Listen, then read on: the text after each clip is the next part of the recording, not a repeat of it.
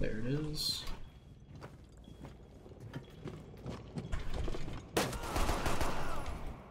Come on, bitches.